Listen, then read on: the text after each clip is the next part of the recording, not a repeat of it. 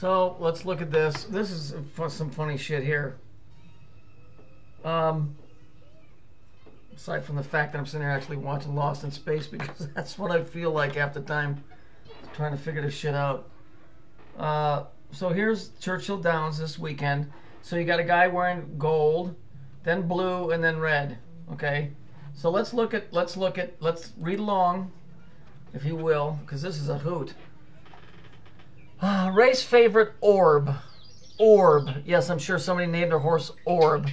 Took the lead mon- midday through the stretch to win the 139th. There's your three and your nine. Running the Kentucky Derby on a sloppy track at Churchill Downs. Set off at 5:03 Orb passed Normandy invasion. Anybody understand history? Do you remember what the Normandy invasion was? It's when the U.S. and Britain invaded Germany. In the stretch, held off long shot. This is this is this is sweet here. Golden Soul to give veteran trainer Shrug McGonaghy his first victory in the in the run for the roses, written by Joe Ros- Rosario. The 213 Florida Derby champion finished in 2000 in 202. Okay. Golden Soul placed 34 with Revolutionaries. Now we got Normandy Invasion here. You've got Normandy Invasion here. Revolution. See, this is all code. Falling to fourth. Ridden by three time Derby winner Calvin Bor- Borzel. I can't read that. Um,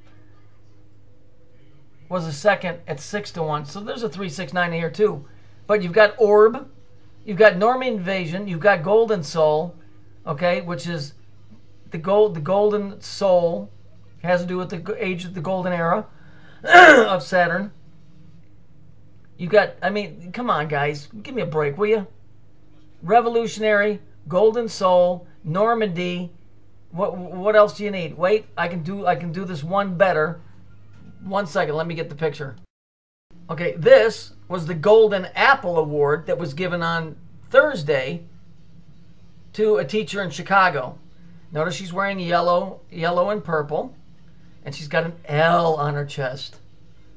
And and here's here's our mayor wearing black and purple. That's indigo, so that's a Saturn color.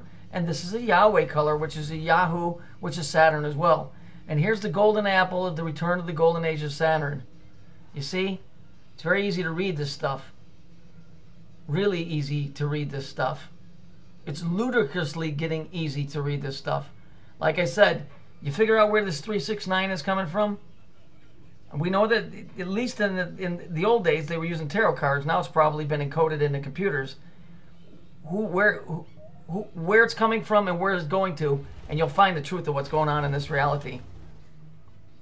That's the reality. That's the truth movement. I'm telling you, because now finally we have something that we can put our hands on and say we can prove it in the news. We can prove it in old writings.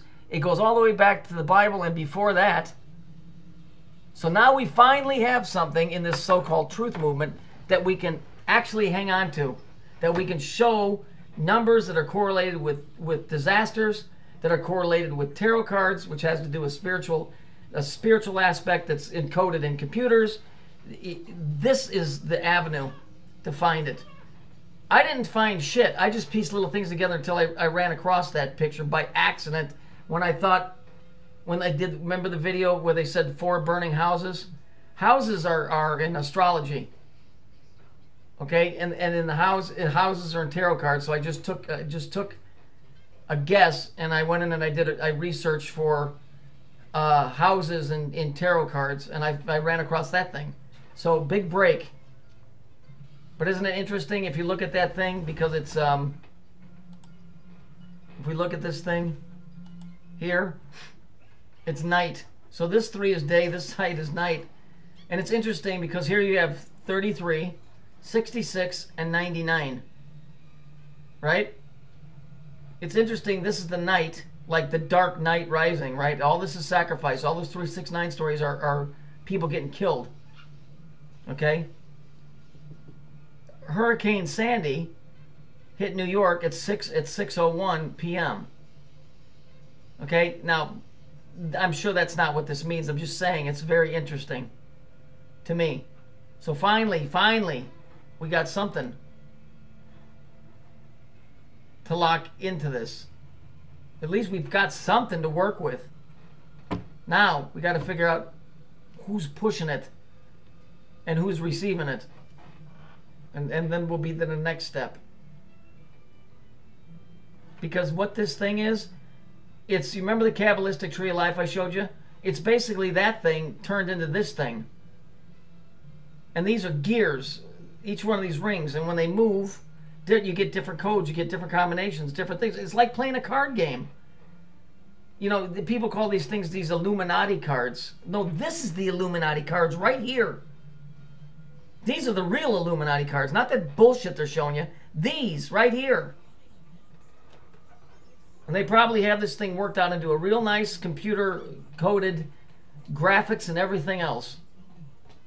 Now, who's carrying this shit out? Is this being carried out by humans that are just being given directions, or is this really happening from some other some other realm and it's it's uh, it's afflicting this one? I don't know, but we got to keep working on this until we get until we figure it out.